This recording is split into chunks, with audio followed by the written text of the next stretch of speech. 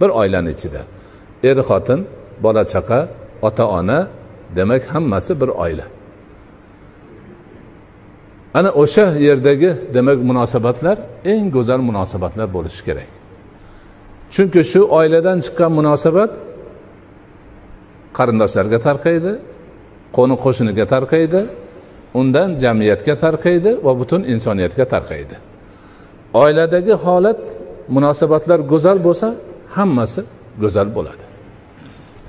Ming afsuslar bo'lsinki hozirgi kunlarda ana shu oilaviy munosabatlarga putur ketganligi hammani qayg'usi bilgan odamlarni musibati bo'lib turibdi. Bilmaganlar dindan bexabar yurganlar ma'rifati yo'qlar o'shalarni buzishga xizmat qilishyapti. Oilaviy aloqalarni qadr qiymatlarini yo'qotishyapti.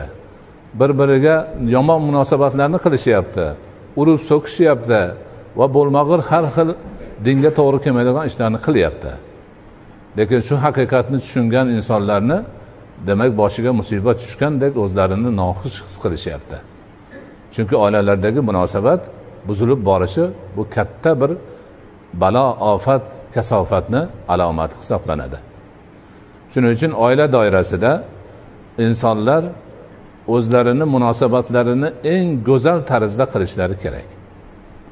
Ota onani hurmati ehtiromi bolalarga mehribon bo'lish aka ukalarni qadr qiymati opa singillarni azizligi er xotinlarni bir biri bilan bo'ladigan munosabat kelinlar qaynotalar kuyovlar qaynog'alar hamma hammasini demak oila doirasidagi munosabatlari nihoyatda go'zal bo'lishi kerak. Oilani ichida bir birini behurmat qilish mo'minman musulmonman degan insonga mutlaqo begona gapdir. Hech ko'tarib bo'lmaydigan ayb uyat hisoblanadi. Lekin ming afsuslar bo'lsinki oilalarda ana shu holat bor. Er xotinlarni urushishi oilalarni ko'plab buzilishi farzandlarni oqpadar bo'lishi yoki ota onalarni bolalariga bo'layotgan munosabatlari hech kurakda turmaydigan holatlar hozir bor. Ming afsuski shuni aytishga majburmiz. Otalar onalar bolalariga namoz o'qimaysan deb turib olganlari bor hozir. Otalar majburlab man otayman. Mani aytganimni qilish san ishongan dinda bor. Manga aroq olib kelib ber bo'lmasa oq qilaman deyayotganlar bor. Ming afsuslar bo'lsin keliniga tajovuz qilayotgan qaynotalar bor. Manga yozishadi kompyuterda. Keldi odamlar kelyapti yig'laydi ko'zida yosh. Man ayolim bilan yaxshiman taqsir hamma yo'g'imiz yaxshi otam shunaqa bir noqulaylik nomardlik ishni qilib qo'ydi nima qilaylik endi? Tashlab ko'chib chiqib ketdik. Birovnikida ijaraga o'tiribmiz. Deyishyapti. Qaynona kelinlarni munosabatlari ham shu. Kelinlar qaynonalarni hurmat qilish kerak lekin qaynonalar ham izzatini bilish kerak. Bilish kerak. Shariatda ko'rsatilgan holatda qilish kerak.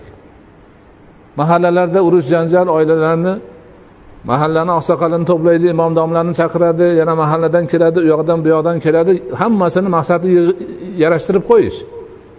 Lekin qaynona yo'q. Man buni kirgizmayman uyimga. O'g'lim qo'ymasa taloq man qo'ydim buni taloq. Bunaqa bilan bo'lmaydi. Qaytaga?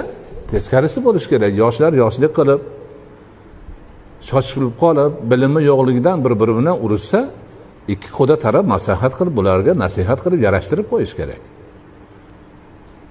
Buni o'rniga haligi gap. Mayli otasi onasi bu qilyapti. Endi aka ukalar opa singillar aralashtirib o'zini jigarini oilasini buzishyuboryapti bular hammasi musulmonlikka to'g'ri kelmaydi mo'minlikka to'g'ri kelmaydi odamiylikka to'g'ri kelmaydigan holatlar. Ming afsus shunaqa holatlar bo'ladi lekin bunda insonlar bag'ri keng bo'lishi kerak sabrli bo'lishi kerak.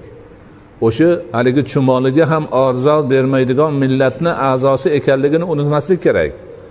Chumoliga ozor berish gunoh deb bilgan musulmon millatini e, a'zosi qandoq qilib o'zini otasiga yoki bolasiga yoki xotiniga eriga opa singliga yomonlikni ravo ko'radi bir oilalarda yashab turib bir uyda istiqomat qilib turib qanaqa qilib bunaqa narsalarni qilish mumkin